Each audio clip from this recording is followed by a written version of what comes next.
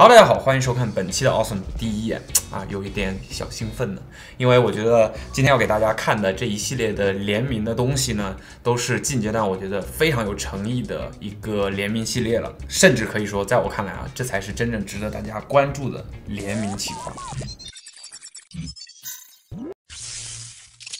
言归正传啊，呃，我先告诉大家，就是今天会给大家看的东西呢，啊，是一个小灰盒子，啥也看不出来啊，这只是其中的一部分。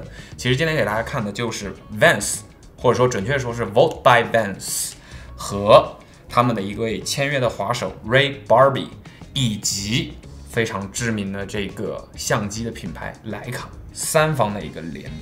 其实这个联名呢，对于三方来说都是蛮重磅的吧，所以我也很。不容易的，把联名系列里面的几乎所有东西都搞过来一套给大家看一看，好吧？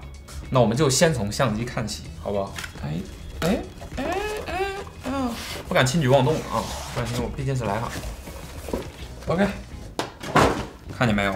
看到这一面的话，大家就应该很清楚了，联名的身份已经展露出来了。因为在徕卡的这个很规范的这个颜色包装这个位置呢，加入了 Vans。最标志性的棋盘格图案，并且在上面相机的这个信息简介这里也写到了徕卡 D Lux 七，没错，它的机型是 D Lux 七。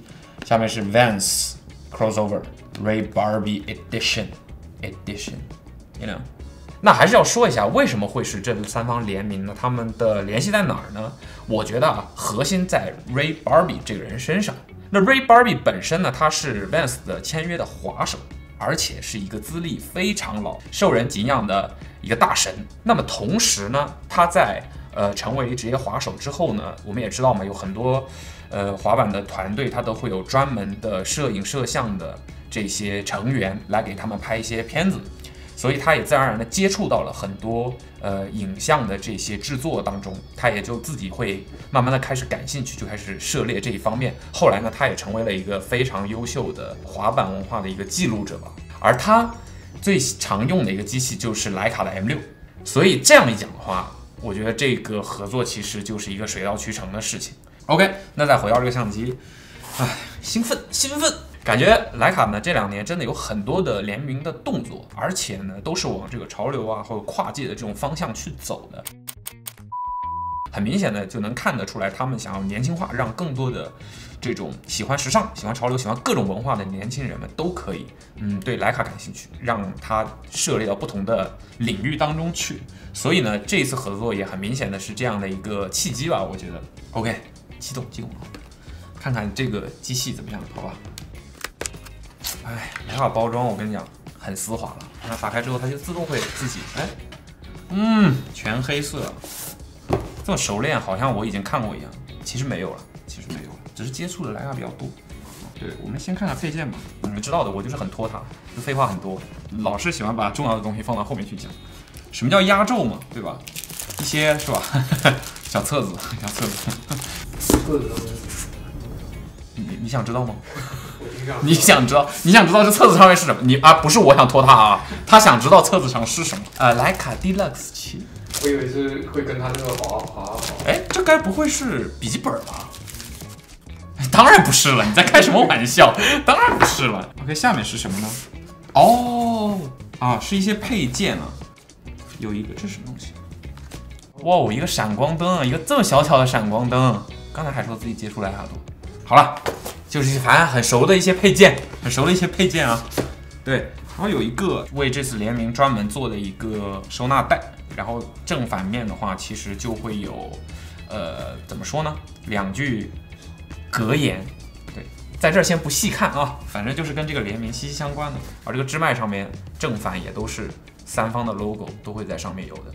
徕卡、Ray Barbie 和 Vans，定制化还是比较完整啊。我们邀请他先下去。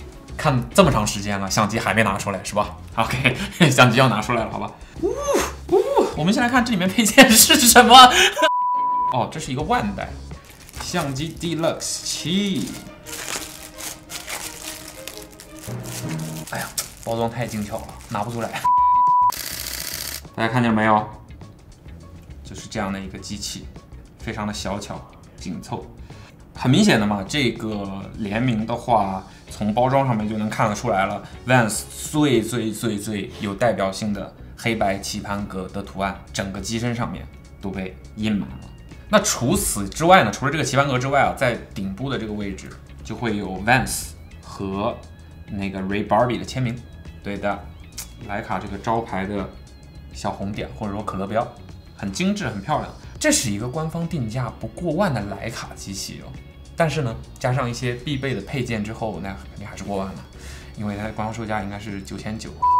因为可能相对来说了解呃徕卡的朋友们就会知道啊，什么 Deluxe、Celux、Velux，就是徕卡的产品线当中偏这种便携的，呃稍稍微有点卡片式紧凑型的相机。对，所以 Deluxe 七算是在这个系列当中还比较高端的一个机器了。相对来说，在徕卡系列当中，你肯定跟 M 跟 Q 的这个售价啊或者定位啊是还是有一些差距的嘛。总结整个东西看下来之后，我甚至会觉得选这个机型是很妙的。你想想，它的一个背景的整个故事或者说文化的话，是承载在滑板这个街头运动当中的。我觉得在保证了这个品质和这种成像的素质前提之下，毕竟它是徕卡嘛。那便携性真的是一个非常重要的一个因素。你在拍摄一些滑板的一些呃片子啊，你就是很需要你的相机是随手就能拿得出来，然后也可以很方便的收纳到你身上，可能就就随便一个裤子口袋。我觉得这在呃滑板的摄影的这个需求当中还是比较重要的，所以选了这样的一台机器，我觉得没有任何的问题。反正我觉得啊，这是一个很适合玩滑板的人。用来拍照的一个机器，也是一个很适合大家。如果你想要拥有一台徕卡，或者说第一台徕卡，一个入门的徕卡的话，呃，D-LUX 七真的是一个很不错的选择。我在网上也搜罗了一下，呃，买了这台机器的一些朋友的感想吧，大家都是，嗯，果然是徕卡的这种感觉。OK，我们先请那个美丽的徕卡在边上休息一会儿。啊，我们来看看鞋子的部分。Vans 这一次呢也是非常有诚意了，基本上把家里这个好东西全都拿出来了，对吧？呃，这一个系列呢有四双鞋款，包括 Skate High、Slip On、Authentic 和这个 Old School 全部都有了，最招牌的鞋型都在这儿了。那这一次的设计呢，其实嗯还是整体来说把 Ray Barbie 和徕卡的元素都融合的蛮不错的。我们一个一个来看吧。从这个 Skate High 开始，它整体呢结构和材质还算是比较常规、比较高端的 Skate High 的状态。前面麂皮，麂皮，哎，棕色的这种也很适合麂皮的这个质感。然后这边的话是大面积的一个帆布，那它把内衬做成了。棋盘格，联名方的一些元素就主要体现在一些细节上面，可能在外侧啊看不太出来，但是都放在了一些很低调的、很不明显的地方。徕卡，你知道的，低调。比如说中底的这个位置，有徕卡最招牌的一个红点的小细节在这个位置。然后这个位置的话呢，就会有一句德语的格言，它下面还有署名。这句话大概的意思呢，就是我再次承诺承担一切的风险。也德语我实在是没有基础，所以就不在这班门弄斧了。然后呢，下面的署名就是呃徕卡集团这个创始家族莱兹家族的，他们最早的一个创始人是叫呃恩斯特莱兹一世，这个呢是他的次子恩斯特莱兹二世，对，这是他说的一句话。而除了这个地方的一些呃这种刺绣的画细节以外啊，最顶端的斜太孔。有金属的包边，它也是漆成了红色的，也是在致敬徕卡的红点这个细节。我觉得其实这种设计的话，相比于你把所有的东西都放在表面，是真的是要好很多的。我个人会比较喜欢这种联名的方式。在这个鞋带上面，鞋带头也是红色的。然后在鞋垫上面的话，也会有 Ray Barbie 的签名和一个红点在 Vans 的 logo 边上。那大家可能会说了啊，那 Ray Barbie 就只放了个签名吗？不，并不是啊，在另外一只脚的内侧的话，就改成了 Ray Barbie 的一句格言吧。他写的是 The joy is in capturing the journey，就很能反映他的这个人的风格的一句话。然后也是这种手写体的刺绣在这个位置。那么除此以外呢，Ray Barbie 还提供了这一系列鞋款以及后面的我们会说到的服装的配色和款式的一些设计。这些颜色的话呢，基本上都是来自于。他所成长的那个时代，就是可能九十年代，包括二十世纪初的那一段时间，呃滑板文化、滑板领域当中大家比较盛行的、比较有代表性的一些颜色以及一些嗯款式啊、质感的这种东西在里面，所以他会选择像这种很有工装感觉的这种呃棕色啊、这种水蓝色啊、酒红色呀，以及这种墨绿色这些的颜色，就还蛮有那种。对，复古一些的感觉的。然后呢，再来看这个 Sleep On 吧。这个 Sleep On 的话呢，它就是相对来说明显一些，直接把这个恩斯特来自二世说的这句话放在这个鞋面鞋舌的这个位置，也是刺绣的，质感非常的棒。对，然后它这双鞋的话，整体也是一个大面积的麂皮，在侧面会有一些帆布。那这个鞋的话，就可以比较明显的看到鞋垫上面的细节了。对，签名啊、红点这些细节。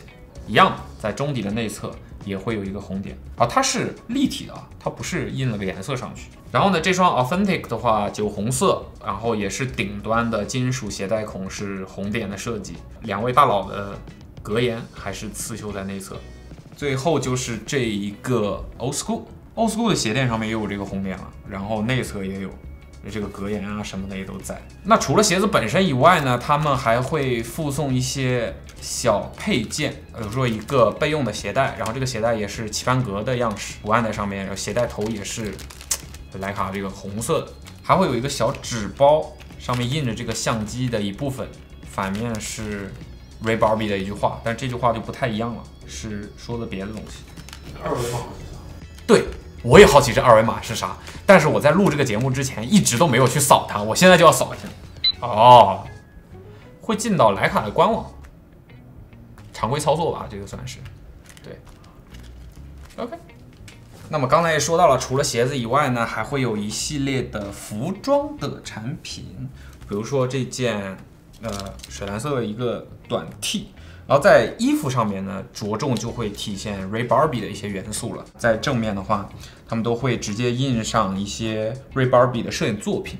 然后这些作品呢，其实也是在呃徕卡画廊里面有展出的。还有另外一件樱花 T，但它是一个长 T。这件是把他的作品印在背后了，对，比较大。然后正面的话。是 Ray Barbie 的签名和 Vans 这个棋盘格这个图案。就是在服装的这个部分的话，我觉得除了这个照片，但是也比较，呃，晦涩一点吧。其实没有太多徕卡的明显的元素在上面。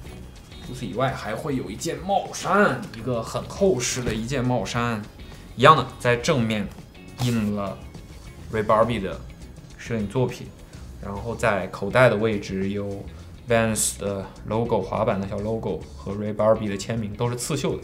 啊，总的来说呢，设计都是比较简单，然后很街头风格的嘛。因为也说了，整体的设计 r e b a r b i 都是来自于他们对在街头混的那个时光，那个时候的风格。但除了我拿到的这些东西以外呢，其实还会有一个，我觉得啊，其实是我们的同事也这么认为，就是呃，服饰联名产品里面最让人觉得很特别的就是一个棉质的教练夹克，然后它是一个。类似于宝蓝色，有一点点水洗的那种感觉，就很工装的一个夹克，都是 Ray Barbie 自己平时经常会穿的一些衣服款式，很板仔，对吧？OK，这就是今天给大家看的呃 Ray Barbie、徕卡和 Both by Vans 三方联名的一个系列。呃，那据我所知呢，呃，服装和鞋子的话。会在十一月十九号就会发售，但是相机会不会发售，我不是很清楚。据说这个联名定制版的这个相机好像是非常非常少，所以我也不知道会不会公开发售。大家可以自己多留意留意。如果你喜欢这个相机的话，我觉得整个系列来说还是蛮特别的吧。总的来说呢，我觉得把三方各自的特点都是发挥出来了。所以还是挺期待看到更多像这样的联名企划出现的。OK，那本期节目就到这里，拜拜。